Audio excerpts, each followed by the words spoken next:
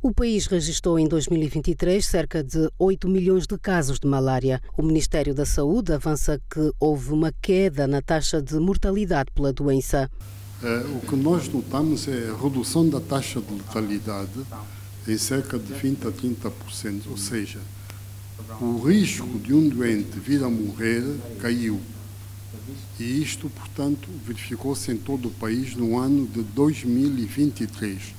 Mas não devemos esquecer que temos um fator externo, que são as alterações climáticas, a grande pluviometria, tem alterado o estado, o sistema ecológico da, do hábito do mosquito e nós, tanto, o que tem criado algumas dificuldades. Durante uma visita ao Instituto Nacional de Investigação em Saúde, a administradora da agência, Samantha Power, ressaltou que estas ações atingiram cerca de 20% da população do país. Nós uh, fornecemos 45 milhões uh, testes anti-malária, fornecemos também 35 milhões uh, de testes rápidos para malária e 19 milhões de mosquiteiros.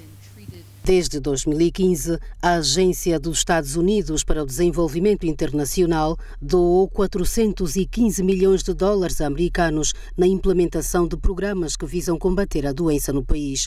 Nós, através do programa de PMI, conseguimos alcançar 20% da população angolana.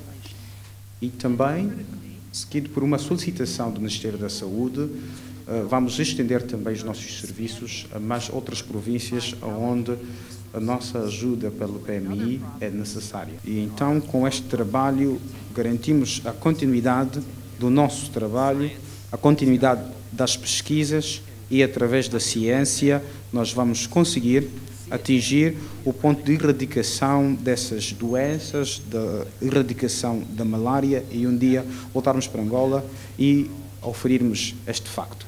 Para saudar o dia 25 de abril, Dia Mundial da Malária, foi realizado um Fórum Nacional de Parceiros contra a Malária. Este ano, as atividades decorrem sob o lema Acelerar a luta contra a malária para um mundo mais equitativo e não deixar ninguém para trás.